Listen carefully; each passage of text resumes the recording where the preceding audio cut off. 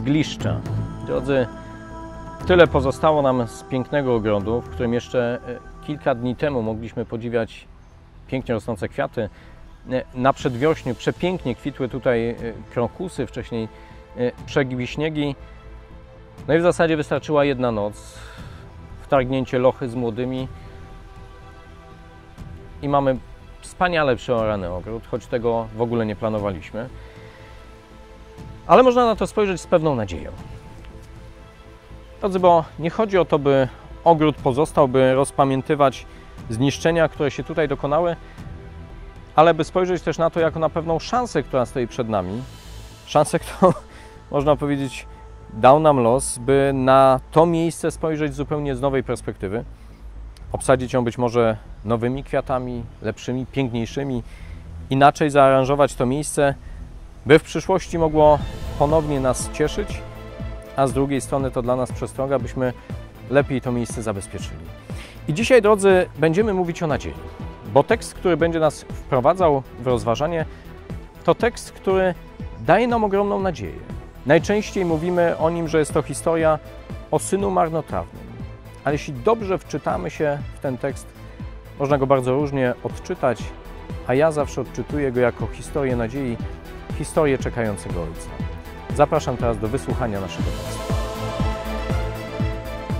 Słowo Boże, które będzie nas wprowadzało w rozważanie w trzecią niedzielę po święcie Trójcy Świętej, to słowa Jezusa, które przekazuje nam ewangelista Łukasz w swojej Ewangelii w 15 rozdziale. I zbliżali się do niego wszyscy celnicy grzesznicy, aby go słuchać. Faryzeusze zaś uczeni w piśmie szemrali i mówili: Ten grzeszników przyjmuje i jada z nimi. Powiedział im więc takie podobieństwo. Pewien człowiek miał dwóch synów i rzekł młodszy do ojca: Ojcze, daj mi część majątności, która nam nie przypada. Wtedy ten rozdzielił im majątność. A po niewielu dniach młodszy syn zabrał wszystko i odjechał do dalekiego kraju i tam roztrwonił swój majątek, prowadząc rozwiązłe życie. A gdy wydał wszystko, nastał wielki głód w owym kraju i zaczął cierpieć niedostatek. Poszedł więc i przystał do jednego z obywateli owego kraju, a ten wysłał go do swojej posiadłości wiejskiej, aby pasły świnie. I pragnął napełnić brzuch swój omłotem, którym karmiły się świnie, lecz nikt mu nie dawał. A wejrzawszy w siebie rzekł, iluż to najemników ojca mojego ma pod dostatkiem chleba, a ja tu z głodu ginę.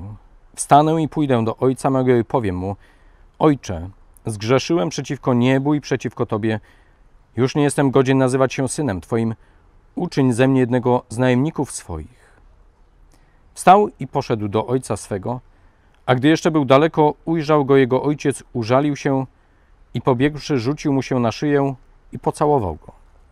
Syn zaś rzekł do niego: Ojcze, zgrzeszyłem przeciwko niebu i przeciwko tobie. Już nie jestem godzien nazywać się synem twoim. Ojciec zaś rzekł do sług: Przynieście szybko najlepszą szatę i ubierzcie go. Dajcie też pierścień na jego rękę i sandały na nogi. I przyprowadźcie tuczne cielę, zabijcie je, a jedzmy i weselmy się. Dlatego, że ten syn mój był umarły, a ożył. Zginął, a odnalazł się. I zaczęli się weselić. Starszy zaś syn był w polu, a gdy wracając zbliżył się do domu, usłyszał muzykę i tańce. I przywoławszy jednego ze sług, pytał, co to jest?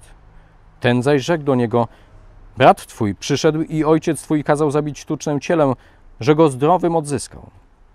Rozgniewał się więc i nie chciał wejść.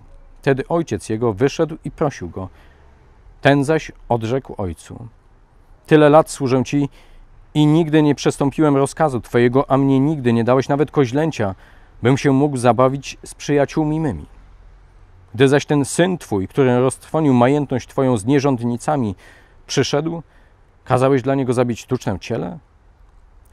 Wtedy on rzekł: Synu, ty zawsze jesteś ze mną i wszystko moje jest twoim. Należało zaś weselić się i radować, że ten brat twój był umarły, a ożył. Zaginął, a odnalazł się.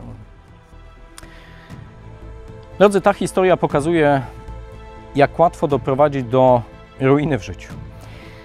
Czasami oczywiście człowiek planuje ruinę, tak jak my tutaj, ale to nie jest efekt końcowy.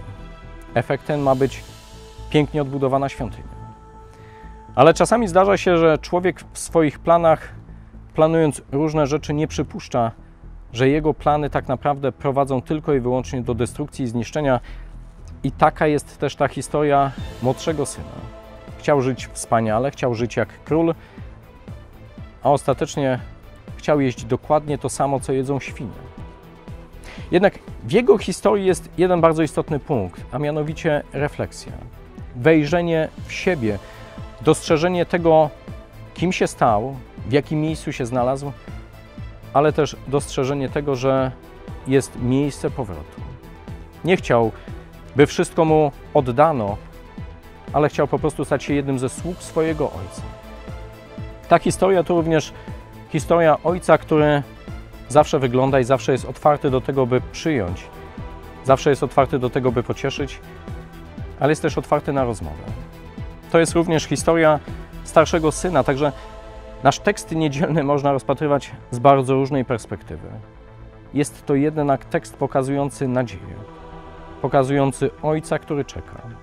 Dlatego bardzo serdecznie zapraszam w najbliższą niedzielę do tego, by wspólnie spędzić czas nabożeństwa, by wsłuchać się w słowo i by dostrzec, że jest ojciec, który czeka na nasz powrót. Serdecznie zapraszam na nabożeństwo.